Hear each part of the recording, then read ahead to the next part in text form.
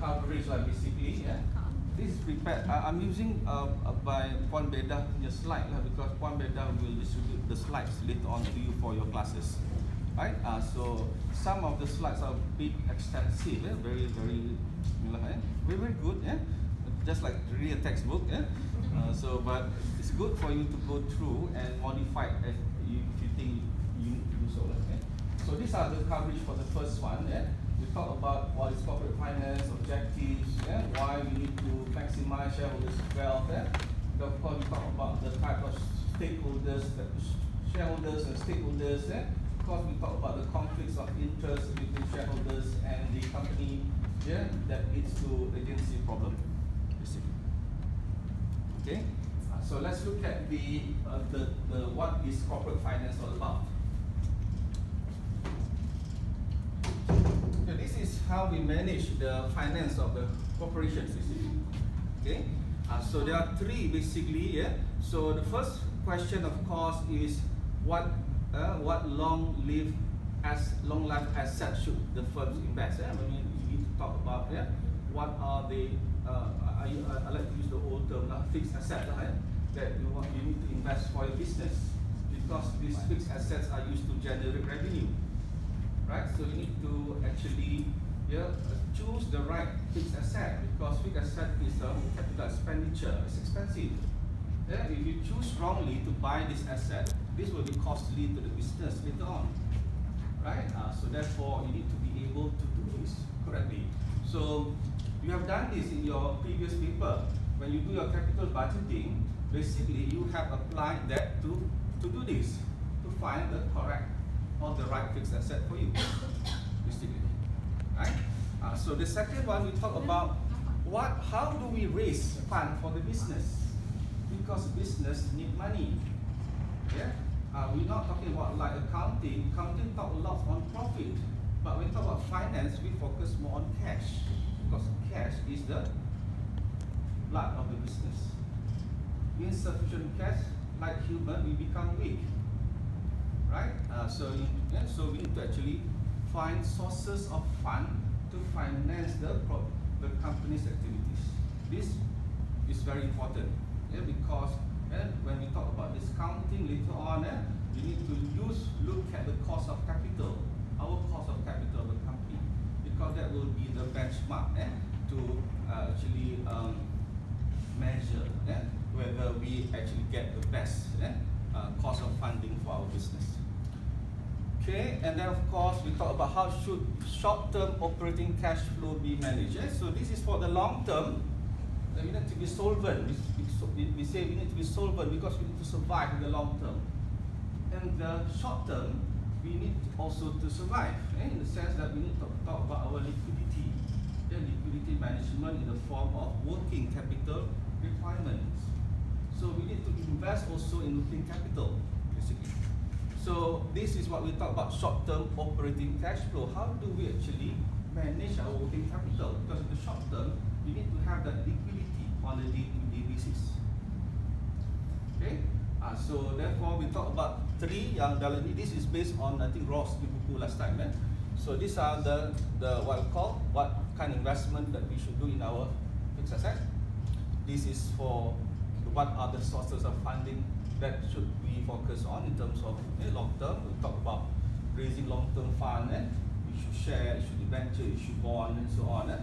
Of course, this one for short term, uh, we talk about how to manage our working capital.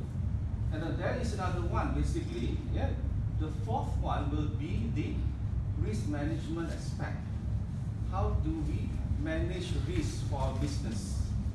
So that's why you have it, because these are so many. Eh? You talk about financial risk, eh? you talk about leverage risk, eh? uh, we talk about interest rate risk, we talk about currency risk, eh? the need for hedging. Yeah?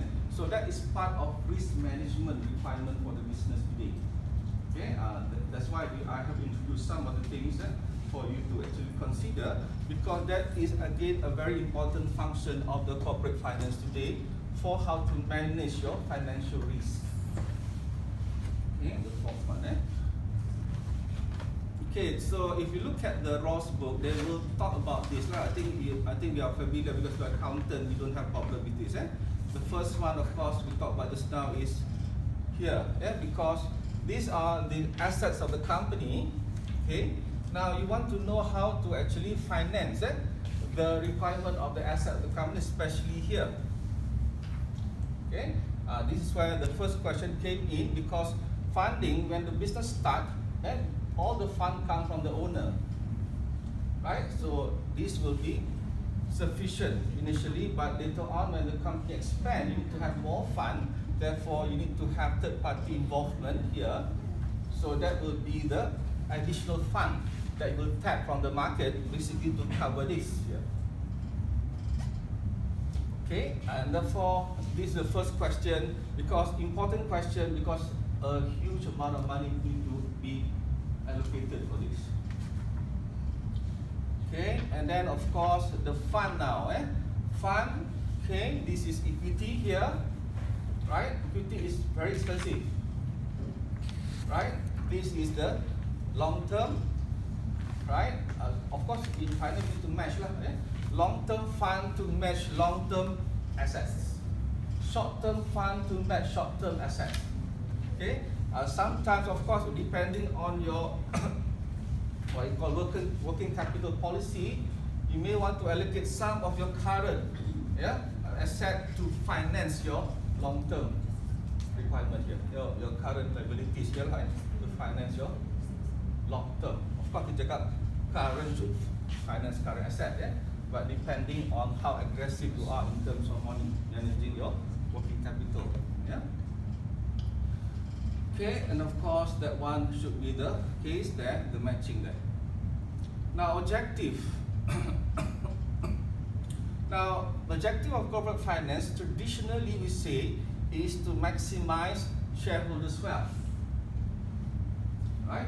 Uh, so of course students will say, uh, you ask students, uh, what is the aim of the company, the goal of the company, uh, kata maximize profits. Most of them will say maximize. It's okay to maximize profit, but if you can consistently, right, year year in year out produce profits, therefore that will be in alignment with this maximizing such shareholders value. But profit is very very volatile. Sometimes you get a lot, sometimes you get none, sometimes you you losses. So we cannot use profit as the benchmark. Even though, yeah, on in the short term we say profit is the best benchmark. But profit, like us we know, accountants eh, are prone to manipulation. Right? But not bad lah. Sometimes you want to window dressing, you want to do smoothing, right? Uh, so that will be the impact on profit basically. Yeah. So therefore we don't want to actually use that as the long-term benchmark for the company.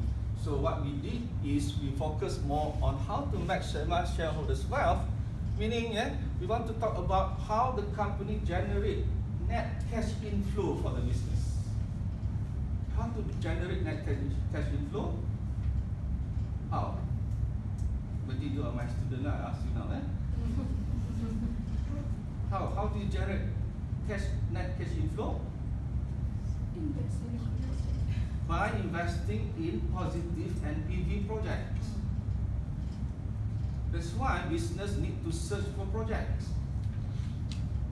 And continuously find opportunities to invest because you need to get that net cash inflow so that net cash flow translate to higher wealth for the shareholders. For example, I have a project, eh, a project that produced me positive 3 million NPV. What does it mean?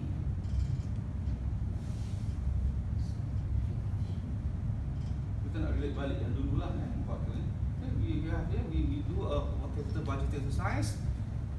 We do discounting, find the present value minus our initial cost. We get an NPV positive $3 million and we say, oh, we accept this project. Why will you accept the project? Because NPV is 3 million. But why do you accept the project because of the NPV 3 million? The expected cash inflow of the company is 3 million. The, the thing is, if the company has a value of 20 million, you have a net cash inflow of 3 million, now we expect roughly the company should be valued at 23 million dollars. Right? 23 million dollars. So the more positive NPV that you get from the investment in projects, the higher will be the value of the firm. This will translate to higher wealth for the shareholders because the wealth the share, the wealth, the, the value of the firm should be transferred back to the owner somehow in the form of dividends or capital gain yeah, through the increase in share prices. Right? Uh, so that's why we need to actually be very selective, find value, making smart investment and finding decision and uh, buy asset that generate more cash than they cost. Yes, yeah. So that is, I think, uh, a prudent move. And then try to make smart financing decisions, sell bond and stock and other financial instruments that raise more cash than cost. Eh? So meaning eh, the, the return lah, eh? basically eh, from the issuance of this. Quite difficult basically because you are actually influenced by the market forces. But you try to actually issue. That means you have alternative now. Eh? For example, eh, if you study parking order theory later on, eh, what sort of fund should you focus more first? Ya, kalau kita pakai pack dari jam lah because we are studying that anyway later on. Eh? The packing order theory say that company should use your retail earning first because it is the cheapest cost to you. You're not dealing with outside parties. This is your cost. Eh? Your, your cost should be cheaper. And then should you wish to have more fun, then only go to third party. That means